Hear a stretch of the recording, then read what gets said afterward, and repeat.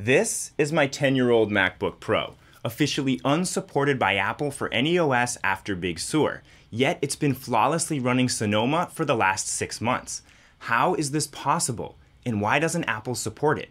The reasons may surprise you. When I worked at an Apple store, our main focus was creating brand loyalty by providing a smooth, seamless customer experience, both in the store and on the devices.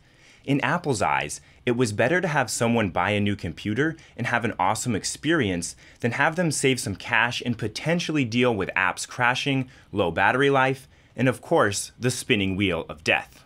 Recent lawsuits, however, point to additional motivation for this strategy planned obsolescence, when a company purposely designs a product that will become obsolete or stop working in the near future, forcing the customer to make another purchase. Printer companies like HP, Epson, and Canon have all faced lawsuits regarding forced obsolescence over ink cartridges that stop working prematurely. I think we all deserve a payout from those ones. In 2020, Apple paid over $500 million in fines in what is commonly referred to as Batterygate, where in 2016 they were caught throttling the performance of iPhone 6s and 7s, claiming it was to extend battery life, but essentially forcing users to upgrade to new iPhones. If they were using this strategy in 2016 to force the retirement of phones produced only two years earlier, it begs the question have they used this same strategy for their computers? It's certainly not hurting their bottom line. According to Apple's Q4 2023 earnings report, revenue for new Macs surged by nearly 30% in the years 2021 and 2022. This is largely due to the release of Apple's M series chips, but it underscores the financial benefits of encouraging customers to upgrade more frequently. It raises questions regarding the balance between maximizing profits and supporting customer loyalty. If it's truly all about a smooth user experience, wouldn't they want to support their loyal customers whose machines are still mechanically functional and technically relevant? But instead of releasing different OS builds for older hardware setups, Apple restricts older Macs from upgrading to newer OS versions altogether, even when it's technically possible. The last supported OS for this 2013 MacBook Pro is Big Sur, which hasn't received a software update in over six months. It likely won't ever again. Even with regular security updates, users of older Macs miss out on new features. But that's just the tip of the iceberg. You see, Apple has also been rapidly dropping support for its operating systems. Apple's own documentation states that only the latest operating system release is considered fully patched, meaning that only the latest OS is truly safe from all known security vulnerabilities. Think about this for a second. They're stopping older Macs from upgrading to new OS versions, and then they're dropping support for their older OSs. Before the end of the year, only a couple Mac models made before 2016 will be able to update to an operating system that is actually patched and supported by Apple. Meaning, if your Mac was made in 2016 or earlier, you'll run the risk of having unpatched security vulnerabilities unless you perform an unsupported installation. Look, I get it, things go out of date, but let's not forget, we're talking about the most expensive personal computers on the planet personal computers from a brand built around durability, compatibility, and user experience. Dropping software support for these older Macs just doesn't live up to the brand promise. With each new macOS release, Apple's message is clear upgrade or be left behind. But what they don't tell you is that many older Macs are still perfectly capable of running the latest software, or at least some version of it. And that is where the hero of this story emerges unsupported macOS installations a rebellious, community driven movement empowering users to break free from Apple's restrictions yet still reap the benefits of these amazing machines. It was born out of the early 2000s Hackintosh movement, where users used custom coded applications called bootloaders to install macOS on non Apple hardware.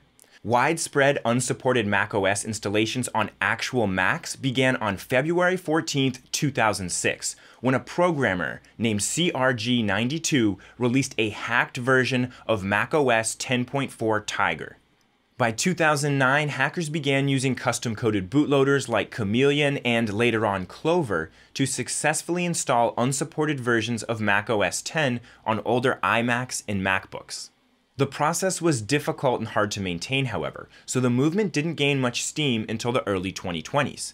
In 2018, a Hackintosh bootloader known as OpenCore emerged onto the scene and quickly replaced Clover as the preferred Hackintosh bootloader. With Apple continuously ending support for older Macs, a community of developers known as Dortania expanded OpenCore and in 2021 released OpenCore Legacy Patcher, also known as OCLP, a simple and effective way to install macOS on unsupported devices. The key is that OCLP is open source and provides an easy way to patch and update unsupported installations whenever Apple releases official updates. OCLP gives users the freedom to choose how long they want to keep their Macs running, an edge in the fight against forced obsolescence. As of today, it is still the easiest way to install an unsupported version of macOS. The benefits of unsupported macOS can be quite attractive. Access to the latest features, improved security, potentially improved performance, and, quite honestly, a sense of empowerment. Unsupported macOS installations aren't all sunshine and roses, however. There are risks involved. They don't receive security updates directly from Apple, leaving them exposed to malware and other threats until a new macOS build for OCLP is released, although this usually only takes a couple of days. As many of you have seen on my channel, incremental updates can take longer and frustrating errors can arise. There may be compatibility issues. Not all apps and software may work on unsupported macOS versions depending on the Mac model you're using, performance can be hindered on unsupported Macs, leaving for a less than optimal experience. And of course, if something goes wrong, you're on your own. Apple won't provide technical assistance or repairs for issues related to unsupported installations. Although if you came into the Apple store that I worked at with an unsupported installation, we would certainly wipe it clean and install the latest supported OS if that's what you were looking for. It's probably not the best option for your primary computer, but it can certainly breathe new life into older, functionally sound machines. Personally, I wouldn't use my MacBook Pro very much if I couldn't update it past Big Sur. Big Sur doesn't allow for screen mirroring, which is one of the primary things that I use this laptop for. Without an unsupported installation, this old friend would just be collecting dust in the corner. There are valid technical reasons behind Apple's decision to drop support for older macOS versions as well. For example, the shift to 64 bit architecture meant older 32 bit Macs couldn't handle the more efficient processing and greater memory usage, meaning Apple had to release both 32 bit and 64 bit versions of its software. In 2014, Apple introduced Metal graphics to boost performance, but older Macs didn't have the necessary GPU capabilities, meaning Apple would have to support both GPU setups. The T2 security chip added in 2017 brought advanced security features that older Macs lacked, making it hard to integrate these new protections into older hardware. The M series chips, launched in 2020, offered significant improvements in performance and energy efficiency, but their new ARM based design was incompatible with older Intel based Macs. Despite these advancements making it difficult for Apple to maintain compatibility with older Macs, they have done it numerous times over the years, proving that it can be done. As a company that prides itself on its hardware and software integration, many feel that Apple should still offer security updates for older hardware that's restricted from upgrading to newer OS versions. Their terms and conditions only promise support for seven years. Then you're on your own. Thankfully, the online community has been able to pick up the slack where Apple left off. My video on installing unsupported macOS has received hundreds of comments from users who are extremely happy with their unsupported installations many of their computers would have already been retired were it not for OpenCore Legacy Patcher and similar open source projects. To be fair, there are also dozens of comments from users who have experienced challenges when upgrading. Maybe they missed a step like performing post-install patches, or maybe there are hardware failures lurking under the hood. Who knows? It certainly isn't for the faint of heart and is definitely more feasible for those who are already skilled with technology.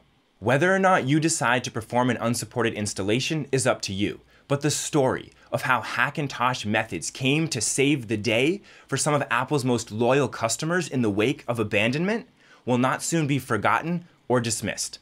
I hope you enjoyed it. If you've thought about performing an unsupported installation but haven't taken the leap yet, this playlist should have you covered. That's all I've got for today. I'm Anson Alexander, and I'll see you in the next one.